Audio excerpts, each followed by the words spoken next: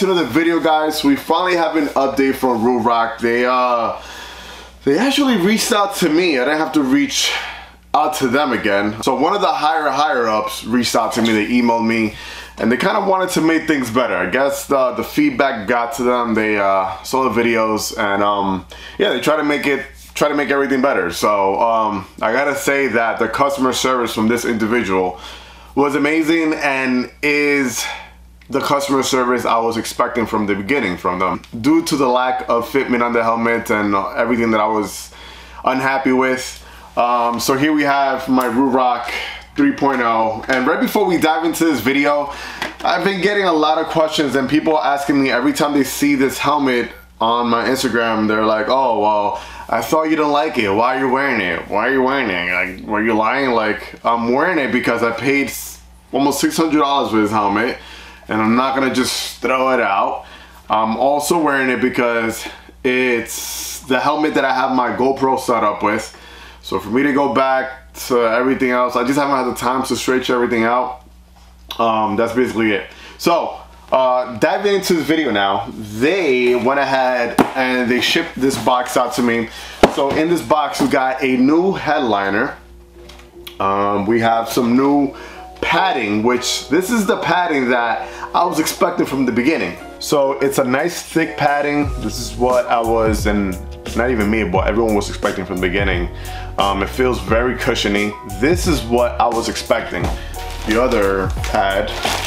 Um, and we have the vent plugs as well. So he said that the vent plug is gonna help a lot with the wind noise. So right now what we're gonna do is that we're gonna set everything up um, and see the fitment of everything. So before we do that, I'm just gonna put the helmet on right now as is to show you guys like the fitment of exactly the issue that I was having.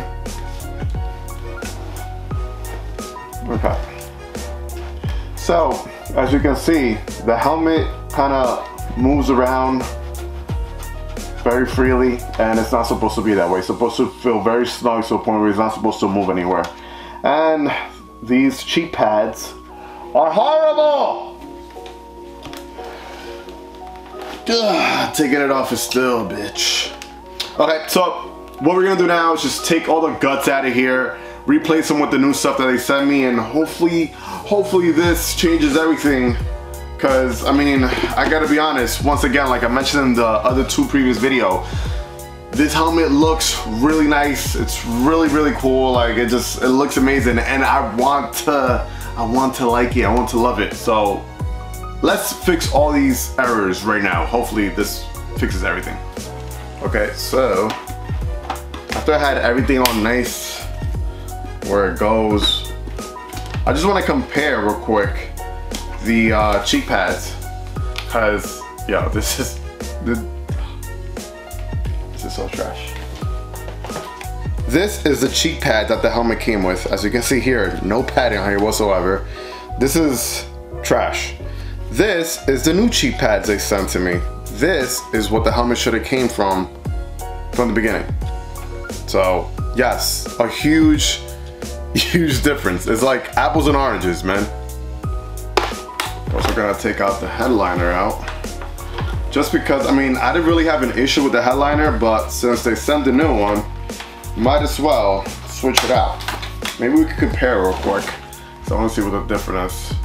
Yep, I see it. Even with the headliner, there's just, the headliner looks like it has a thicker padding on the new one rather than the old one here. So we're gonna trash that away. All right, so now that we have the headliner on the helmet, we can go ahead and add the cheek pads.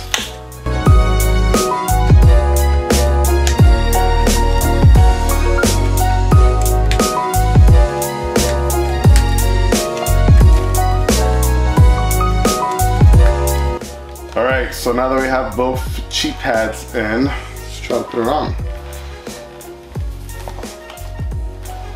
Ah, okay. All right, so you see now that's the, the snug fitment you want from a helmet. This thing's not gonna move side to side like it was dancing before. Nice, very good. I'll say that these cheek pads do have a lot more cushion. For some reason though, they're just not fitting right though. I feel like they're just squished.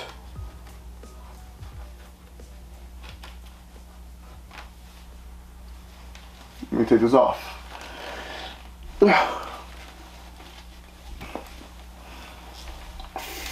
Fuck! Ugh. Yep, uh, I don't think that's gonna work. Uh, I, I, I don't know. I, I, I just don't know. It, it's even harder to put on and take off now. It is, it, it feels more patent, but once you put it on, the cheek pads just like come all over the place. And they are snapped in place where they're supposed to be at. Uh,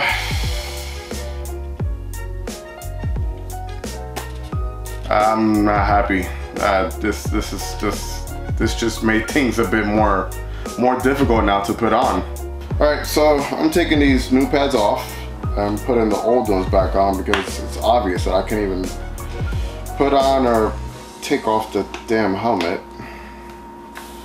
All right, so this is back with the old pads.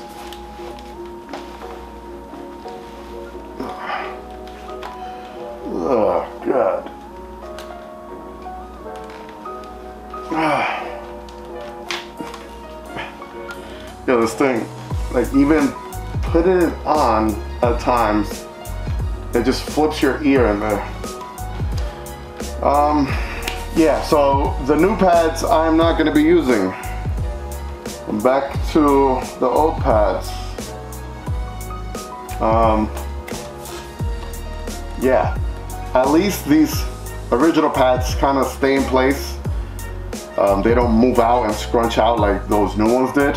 Yeah, I think it's uh, pretty safe to say that I'm kind of done with this helmet. Um, I will be switching back to my Bilt helmet here, which is only 110 bucks and fits and feels amazing um, for $110 helmet.